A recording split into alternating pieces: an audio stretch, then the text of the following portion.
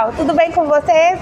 Hoje eu tive o prazer de receber aqui no nosso armazém o nosso parceiro Lobão da Madrugada. Lobão, muito obrigado por ter vindo fazer essa visita, conhecer a estrutura do nosso armazém. Ficamos muito felizes em te receber.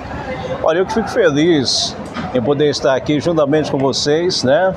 Nesses 11 anos de parceria e hoje a razão também de eu estar aqui, de conhecer as novidades né, que surgiram durante esses 11 anos e também para bater o carimbo confirmando mais um ano de parceria né, no Armazém da Cooperativa e Cooperativa Agropecuária Vale do Rio Doce, no qual eu acompanho de perto e eu sei, se for para falar para desenvolvimento, é comigo mesmo porque eu conheço, tá?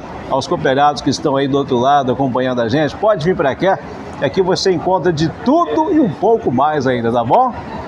Então é tá aí. isso aí, pessoal. Vem para o armazém, a força do agro está aqui. Uh, beleza!